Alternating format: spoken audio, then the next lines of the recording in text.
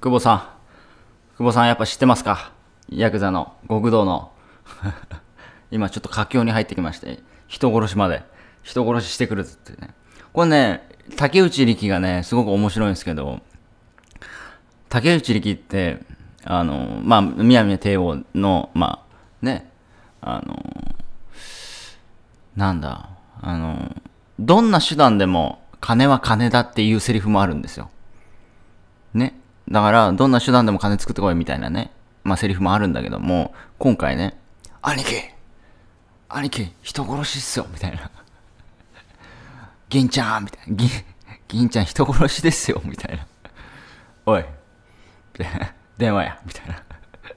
で、まあそこはね、あの、電話してあの、あの、その止めさせるみたいな。電話して、その、知り合いのあの、あの人たちにこうね、あの探させて止めさせるみたいなね。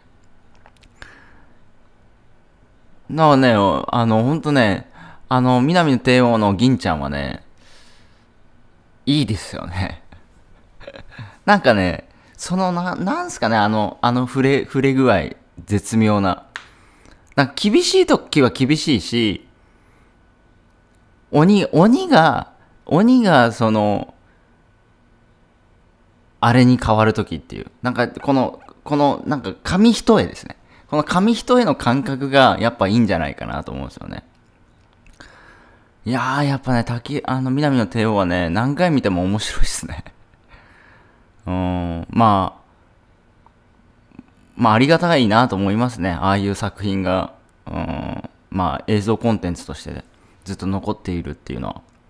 まあ、久保さんがね、テクノロジーの話しましたけども、その映像コンテンツっていうのは、まあ、本、情報コンテンツもそうなんですけど、僕のね、情報商材完全バイブルも、もう5年前ぐらいに出したんですけど、Amazon でね、すげえ爆上げしてるんですよ。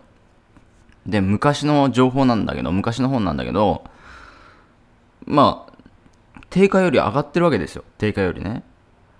うん、だからその、情報とか映像とか、その、デジタルのまあ昔はその本っていうものが、まあリアルの本しかなかったんだけども、今は電子書籍になったりとか、まあその、消えないものですよね、デジタルとして。これをいかにこう、使っていくかっていうのが、まあこれからその時代を生きていく上で、まあすごく重要な部分なのかなと思いますね。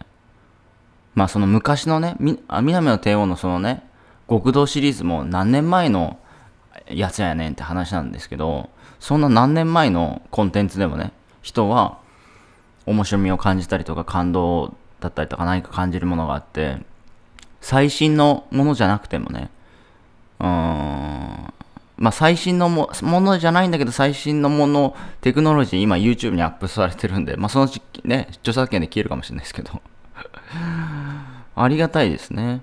あのー、そういう Google が出てきて YouTube っていうプラットフォームを無料でね、提供してくれて、だこれをやっぱ使う側か、まあ見る側かでもう圧倒的に差がついてしまうんで、まあこの億万長者合宿でもね、まあ YouTube やれっていうことはもう5万と言ってますけども、うーん、だから僕、久保さんもね、僕も、まあ YouTube から、まあ Google さんから毎日、まあ僕も少ないですけど、あの、収入がないってことはないんですよ、今。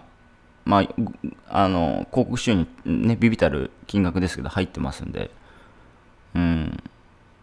まあ面白いですね。僕なんか、まあ、久保さんもそうだと思うんですけど、やっぱ動画の本数多いので、なんかいきなりね、これなんか稼いでるやん、みたいなね。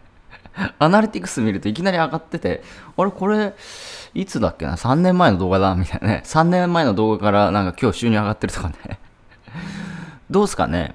普通に働いてて3年前に働いた給料が今月振り込まれるとかありえます？多分ないでしょうね。これテクノロジーの恩恵ですよね。昔のコンテンツでもそこから収益が発生するっていう。だから僕は動画の本数をこう大量にアップロードしようと思った理由っていうのはたくさんあるんだけども、まあ一つの要素として今広告を入れてるっていうのもあって、あの、一動画1円稼いでくれれば、1日1動画1円稼いでくれたとするじゃないですか。じゃあこれ、単純に数の理論で1円でもいいんですよ。じゃあ1億本作った、まあ分かりやすい計算式で言うならば、1億本作ったら1円稼いでくれればね、1億円ですよ、1日。1日1億円稼いでくれるんですよ。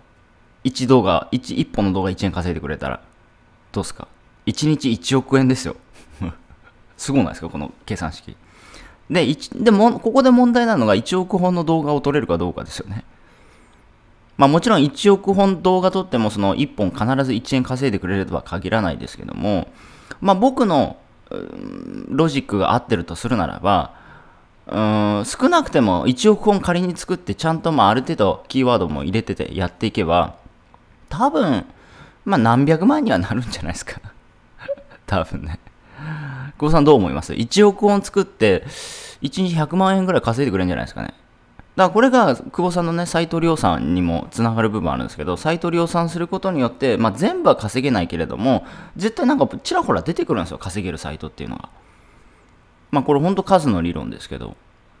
うん。で、それが無料で作れるんですよね。うん。無料でそのチャンスをいくらでも作れるっていう。だから僕はまあ、この調子でやれば動画本数10万本。で、あとはまあ、100万本目指すかどうかわかんないですけど、まあ、それぐらい作ったら、まあ、月にね、まあ、何十万か広告収入だけでも入ってくるかなっていう予測を立ててます。で、この予測っていうのはもう間違いないと僕は思ってますね。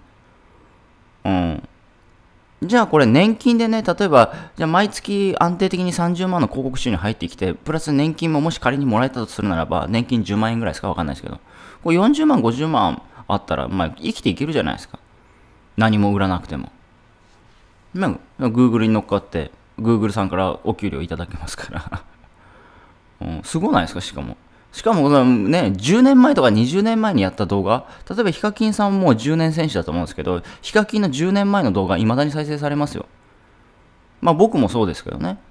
僕の再生数は少ないですけども、僕のファンになった人、久保さんのファンになった人は、久保さんの今の動画しか見ないのかっていうと、過去の動画も確実に見ますから、こんなのは。うん。でも僕はもう見切れないほどのコンテンツあるので、南の帝王ってまあまあシリーズあるんですけど、やっぱ全部見ちゃってるんですよ、僕。60、70本か、まあ、劇場版とかね、そういうのも入れると多分70本か80本ぐらいだと思うんですよ。でも、ほぼ見ちゃってるんで、なんかね、もっと見たいんですよ。もうなんか1000本ぐらい南の帝王あってほしかったですけどね。そう。だからもう、うん、同じ動画見るしかないですよ。南の帝王は。新作出ないし。うん。でも僕はね、見切れないほどあるんで、ファンになった、ファン、僕のファンになった人は、もうずっと楽しめるっていうね、久保さんのファンになった人はね、ずっと楽しめるわけですよ。見切れない、人生で見切れないほどの動画ありますから、しかも今原稿でも作ってるんで。これすごないですか？だって僕もだよ、南の手を何回見てんだって、この、この、このヤクザのやつも 3, 3回か4回見てますからね、もはや。それでも面白いんで、あ、こんなんあったな。まあ人って忘れるんだよね。そう。あまあ、も一語一句ね、シーン全部覚えてるかっていうとそうじゃないので、あ、こんなのあったなと思い出しながら見るみたいなね。それもまた違う楽しみ方なんですけど。そう。だ本当ね、あのデジタルを活用しまくるっていうのは、あの、すごく大事なことですね。うん。まあ、今日もね、僕は相変わらず YouTube に出社し続けますけどね。テクノロジーの恩恵を受けるっていう。うん。まあ、将来の年金ですね、僕の。将来の年金構築とかにしておきましょうか。いってらっしゃい。